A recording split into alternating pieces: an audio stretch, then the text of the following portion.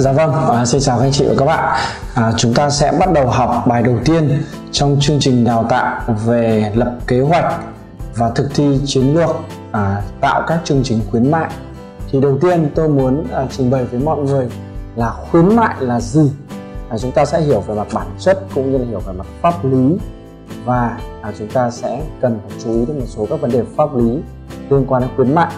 Thì điều đầu tiên chúng ta cần phải hiểu rằng là theo Điều 88 của Luật Thương mại do Quốc hội Việt Nam ban hành thì khuyến mại ở đây được hiểu là các cái hoạt động xúc tiến thương mại của thương nhân nhằm xúc tiến việc mua bán hàng hóa cung ứng dịch vụ bằng cách là à, dành cho những khách hàng những cái lợi ích nhất định.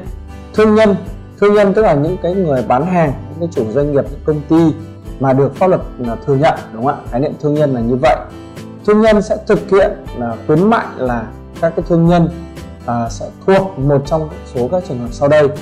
Đó là thương nhân trực tiếp khuyến mại hàng hóa và dịch vụ của mình kinh doanh đúng không ạ? Hay là thương nhân à, kinh doanh các cái dịch vụ khuyến mại thực hiện khuyến mại đó à, cái hàng hóa và dịch vụ của thương nhân khác theo cái thỏa thuận của thương nhân đó đúng không ạ? Vâng. Thế thì chúng ta có thể xem những cái điều 88 à, cho tới khoảng điều thứ 100 à, họ nói về à, cái chương nói đến nói về khuyến mại trong luật thương mại rất là nhiều các bạn Google search là à, luật khuyến mại hay là à, pháp luật về khuyến mại thì các bạn sẽ thấy à, tôi đã từng nghiên cứu về cái luật khuyến mại này luật quảng cáo trực tuyến và luật khuyến mại này rất là nhiều rồi.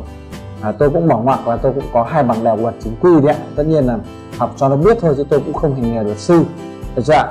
Cho nên khi tôi nói là cái định nghĩa về mặt luật pháp đối với khuyến mại là một cái định nghĩa rất là chuẩn. Thì các anh chị à, có thể hiểu nôm na à, hiểu một cách đơn giản ở đây chính là thì khuyến mại nó chính là một cái hoạt động xúc tiến bán à, của cái người làm kinh doanh mà theo luật gọi là thương nhân đấy đúng không ạ? Nhằm là gì ạ? Thúc đẩy cái việc bán hàng nhằm à, thúc đẩy cái việc kinh doanh đó làm sao à, giúp cho cái việc kinh doanh trở nên thuận lợi hơn tăng trưởng doanh số bán hàng hơn đúng không ạ? Cung cấp được cho khách hàng những cái giá trị và lợi ích à, nhất định trong lĩnh vực thương mại. Ví dụ như là được tặng quà được tặng thêm dịch vụ được giảm giá được khuyến mại dùng thử đúng không ạ? Hay là à, để nhận được những cái lợi ích liên quan đến giá và các lợi ích liên quan đến phi giá. Đó chính là các cái hoạt động khuyến mại. Thế thì à, khuyến mại nó gồm rất nhiều các cái hoạt động cụ thể à, như là các hoạt động tác động vào giá trực tiếp hoặc là các hoạt động khuyến mại không tác động vào giá một cách trực tiếp. À, và nó có có những cái tên có những cái chương trình những cái chiêu trò khác nhau rất nhiều à, thí dụ như là quà tặng đúng không ạ? Ví dụ như tặng dịch vụ tặng sản phẩm các cuộc thi các sự kiện à, đố vui trúng thưởng các vật phải trưng bày trang trí nội thất vân vân. Đấy gọi là những cái hoạt động khuyến mại phi giá. Còn những cái hoạt động khuyến mại liên quan đến giá thì nó có rất nhiều đúng không ạ? Giảm giá bao nhiêu phần trăm mua một tặng một như thế nào? À, mua hai sản phẩm thì được tặng nhiều hơn mua ba sản phẩm thì được khuyến mại nhiều hơn kiểu kiểu như vậy. Đó chính là hoạt động khuyến mại chúng ta vẫn thường thấy là như vậy nhưng mà chúng ta chưa có một cái à, chương trình đào tạo mang tính logic hóa được chưa ạ? Thì tôi vừa trình bày với các bạn hai cái ý. Một cái ý thứ nhất là theo cái luật định là rất là chuẩn rồi. Một cái ý thứ hai là chúng ta sẽ có thể hiểu nôm na đúng không ạ? Là một cái hoạt động xúc tiến bán hàng nhằm để à, hỗ trợ cho những người bán hàng những người làm kinh doanh những cái nhà bán lẻ à, có thể bán được nhiều hàng hóa hơn có thể thanh lý hàng hóa của mình tốt hơn đúng không ạ? Đấy kiểu như vậy. Thế thì à, trong cái việc khuyến mại này thì nó cũng có rất là nhiều các đối tượng tham gia. À, có thể họ là kinh doanh các dịch vụ khuyến mại đúng không ạ? Họ cũng có thể là thực hiện các hợp đồng à, dịch vụ khuyến mại đúng không ạ? À, rồi thì họ cũng có thể là à, tạo ra được các cái hình thức khuyến mại rồi thì à, quyền và nghĩa vụ của các bên tham gia vào quá trình à, khuyến mại à, đó. À, và pháp luật nó cũng có những cái quy định thì à, các bạn có thể xem nhé à, trong luật thương mại luật thương mại và điều từ số 88 trở đi. À, thì tôi sẽ trình bày ờ, nhanh gọn cho các bạn một số cái điều. Ví dụ như điều 89 thì họ quy định về kinh doanh dịch vụ khuyến mại. Điều 90 là hợp đồng dịch vụ khuyến mại. Điều 91 là quyền khuyến mại của thương nhân đúng không ạ? Điều 92 là các hình thức khuyến mại. À, thí dụ như là đưa hàng hóa mẫu cung ứng à, dịch vụ mẫu để cho khách hàng dùng thử mà không phải trả tiền hay là tặng hàng hóa cho khách hàng hay cung ứng các dịch vụ không thu tiền hay là bán hàng hay cung ứng các cái dịch vụ à, với giá à, thấp hơn giá bán à, vân vân đúng không ạ? À, rồi thì trong trường hợp các cái hàng hóa và dịch vụ thuộc diện quản lý của nhà nước thì khuyến mại này cũng sẽ được thực hiện theo quy định của chính phủ. Bởi vì cũng sẽ có một số những cái sản phẩm khuyến mại mà chính phủ quản lý. À, thí dụ như là ừ, lĩnh vực truyền thông như là là Viettel, Vinaphone, Mobifone thì muốn khuyến mại nhiều hay ít thì bộ à, thông tin truyền thông họ sẽ quy định cái mức trần để khuyến mại. Đó. Hay là xăng dầu chẳng hạn thì các bạn thấy là người ta cũng không bao giờ người ta đưa ra khuyến mại được chưa ạ?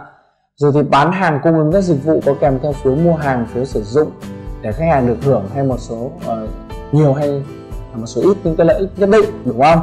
Đấy rồi thì có thể là kèm theo các cái dịch vụ ờ, dự thưởng trúng thưởng hay là kèm theo các chương trình mang tính may rủi may mắn đúng không ạ? Rồi thì tổ chức những cái chương trình khách hàng thường xuyên vân vân.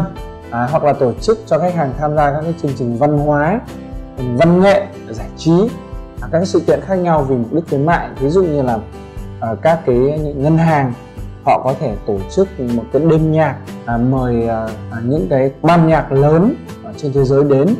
À, thí dụ như là tôi thấy nhiều năm trước thì các ngân hàng họ hay làm là à, biểu diễn ballet hay là biểu diễn um, nhạc à, của modern thinking, vân vân. Hoặc là họ có thể mời những cái đội đua công thức một về hay là đội bóng đá về, vân vân. Đấy chính là những cách mà họ cũng gọi là thuộc về hoạt động khuyến mại, nằm trong luật định họ quy định, đúng không ạ? Rồi thì các cái hình thức khuyến mại khác thì được cơ quan quản lý nhà nước à, chấp thuận. Đấy. Thế thì hàng hóa và dịch vụ được khuyến mại là gì, đúng không? Thì các bạn có thể xem điều 93 điều 93 họ quy định là hàng hóa dịch vụ được khuyến mại là những hàng hóa và dịch vụ được thương nhân sử dụng. À, và à, sử dụng trong cái chính cái hình thức khuyến mại đó để xúc tiến bán đúng không ạ? Đó chính có thể là hàng hóa họ đang bán hoặc là hàng hóa họ đi mua về để họ tặng hoặc là dịch vụ họ đang bán hoặc là dịch vụ họ đi mua về để tặng. Hoặc kết hợp với các cái thương nhân khác đúng không ạ? Hoặc là hàng hóa và dịch vụ được khuyến mại thì phải là những cái hàng hóa và dịch vụ mà được pháp luật cho phép hay còn gọi là chính là những cái hàng hóa dịch vụ được lưu hành. Bạn không thể nào khuyến mại cho khách hàng những cái sản phẩm mà pháp luật cấm được. Ví dụ như là bạn khuyến mại bằng một cái um, một cái dịch vụ à, cấm như liên quan đến chẳng hạn như là ma túy mại dâm chẳng hạn. Tôi nói ví dụ như vậy. À, hoặc là những cái sản phẩm liên quan đến quốc phòng an ninh vân vân. Đó ý tôi là như vậy. Thế còn à, bạn mua quần tặng áo mua giày tặng dép mua điện thoại tặng ốp lưng thì rất là đơn giản à, đi ờ, cắt tóc tặng dịch vụ massage mặt rất là đơn giản không có vấn đề gì cả. Thế rồi à, hàng hóa dịch vụ dùng để khuyến mại và cái mức giảm giá khuyến mại thì được quy định trong điều 94 đấy thì các cái mức này thì à, pháp luật cũng sẽ quy định trong một số những cái lĩnh vực mà pháp luật quản lý. À, chính phủ quản lý. Còn đâu thì à, thương nhân có quyền à, cung cấp cái dịch vụ khuyến mại này theo tùy ý của mình. À, thì các bạn à, có thể xem lại trong pháp luật giúp tôi nhé là tôi cũng không có nhiều thời gian để tôi phân tích à, sơ sơ như vậy. Như vậy là tôi muốn chốt lại là gì? Các bạn đã hiểu thế nào là khuyến mại chưa ạ? Vâng khuyến mại là gì đúng không ạ? Ai được tham gia khuyến mại các sản phẩm và dịch vụ được khuyến mại các hình thức khuyến mại. Đó chính là cái nội dung tôi vừa trình bày với các bạn. Và nó nằm hoàn toàn trong luật thương mại à, điều từ 88 đến điều 94 à, các bạn search trên Google là sẽ thấy ngay. Vâng à, tôi hy vọng bài học này là giúp cho các bạn hiểu nôm na một chút như vậy và từ bài học sau thì tôi sẽ nói về là, là khuyến mại là một hoạt động thương mại và à, các bạn cần phải hiểu biết và tuân thủ pháp luật để tránh trường hợp là sau này cơ quan quản lý thị trường họ đi tìm à, thấy uh, những cái sai sót của mình họ có thể nhắc nhở họ có thể phạt hành chính hoặc là à, những cái hình thức xử lý khác. Đó. À, nó không đơn giản là chúng ta cứ thích thì chúng ta khuyến mại đâu ạ. Vâng. Một lần nữa xin được cảm ơn các anh chị đã theo dõi video này. À, video này nói về khuyến mại là gì các hoạt động khuyến mại. Vâng xin chào và hẹn gặp lại các anh chị và các bạn trong bài học tiếp theo.